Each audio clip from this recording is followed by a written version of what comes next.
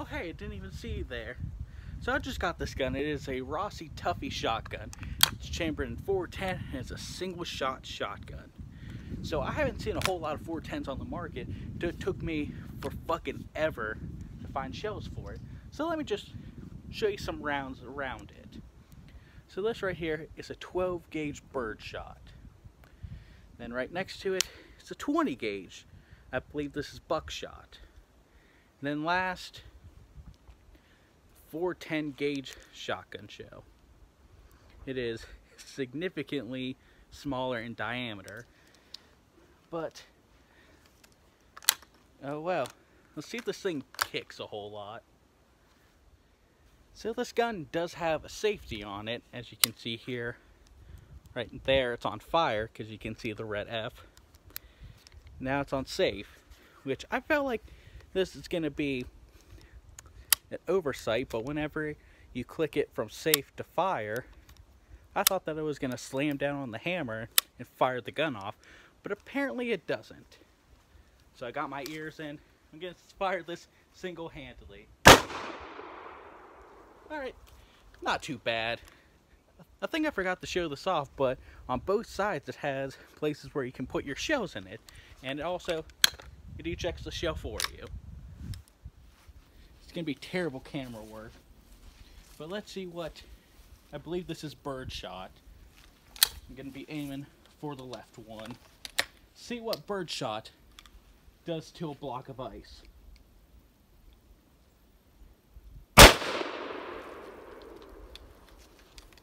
Camera. Let's try buckshot. The one right next to it.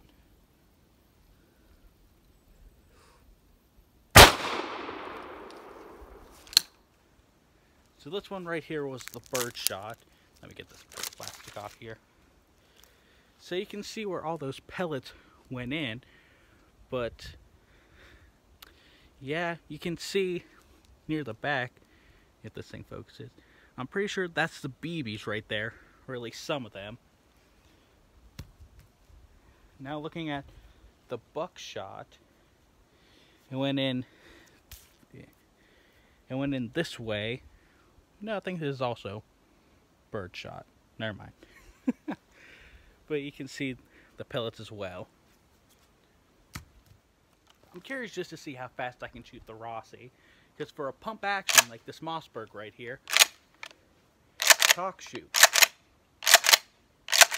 You can do it real fast. But for the Rossi, since it's a single shot, you gotta crack it open and shoot. Crack it open again. So I want to see how fast I can actually do that all right, this is the situation. There's a crazy box coming after me. And I actually am shooting at a target. But there's a crazy box coming after me. And I gotta take it down. Uh, crap, it's still coming. I think it's down. I didn't even mean to do that, but the shell ejected into my hood. Alright, so here's the box. Look holes. I'm not very happy about this. Now that one, that one was better. Way more carnage right there. But I got a little special thing for you. I've just been showing you this side of the gun. But on this side, I've been told that this is a magnum shell. Well, that's what my grandfather called it. I'm pretty sure it's just a slug. But I got all these bullets from him. I refer to him as Armory Grandfather. Alright, firing the magnum slug in three, two, one.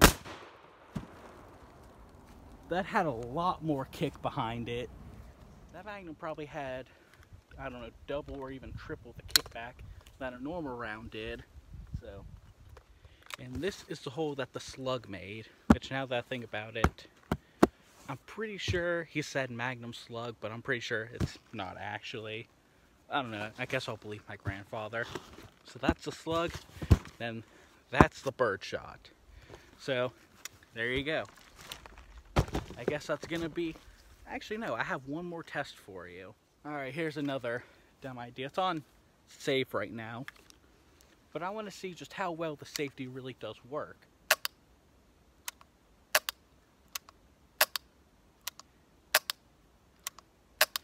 It works pretty well.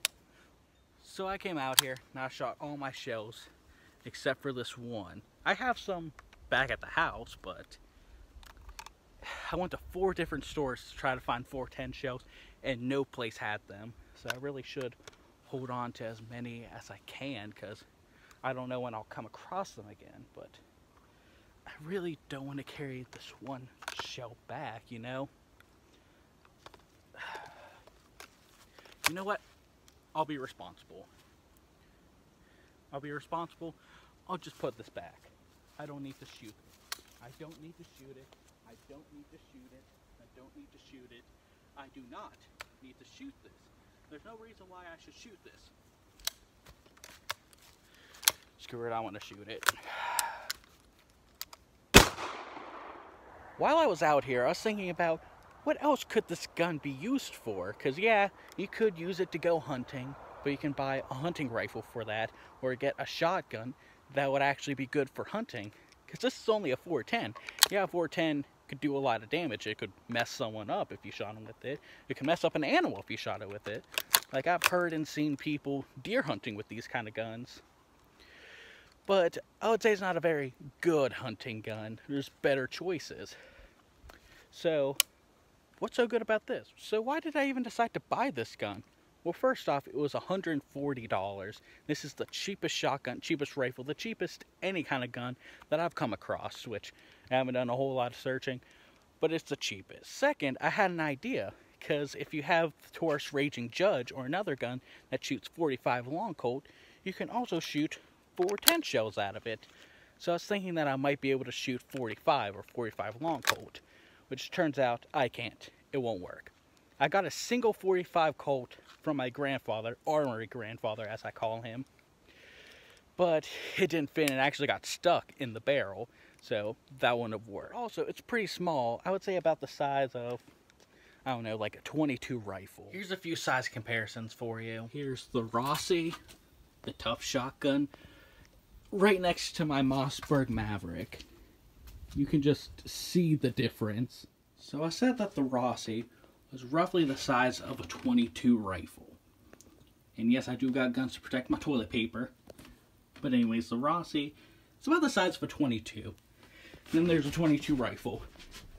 So the Rossi is smaller than a 22. Well, since it's so small, what all is it good for? So if you're a fan of my TikTok page, you probably know that I shower with guns, just in case something happens, just in case someone breaks into my house. So it brings up the question, can the Tuffy replace my Taurus 38 Special? I think so. But what if you're super paranoid and you're afraid someone's going to break into your house? Would be the perfect bed gun? You hear someone coming, you rip open the sheets, you grab it, pull the hammer back, switch it to fire, boom, you got the bad guy. And also, it has double safeties on it, as I'd call it, because you got to pull that hammer back, and you got to turn the safety off. That's to be super hard to do whenever you're in bed sleeping.